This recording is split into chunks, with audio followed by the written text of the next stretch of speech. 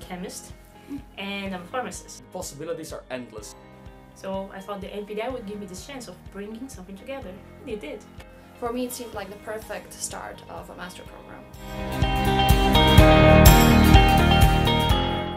So I'm going a little bit further. I'm doing computational studies. So I'm making small particles and then we're gonna put some drug in there and makes see, see if it goes across the blood-brain barrier, so it goes into your brain or not. Basically, altering uh, how the genetic information from cells is, is expressed. And I give them the best option for the patient.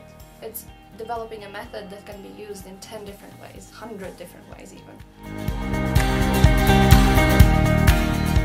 I think it's amazing. You know, all the professors, they are really cool and they really nice. I, I need something, I need a supercomputer. We had a supercomputer. Whenever you don't have something, you can just go to another floor and they might have it there. Things that I never had contact, I'm having contact now. I actually really like Groningen. And then I took a look at the university, and the university was wow, between the 100 best universities in the world. It's a student city. And it was so alive. I was like, I want to study there. I really enjoy the city.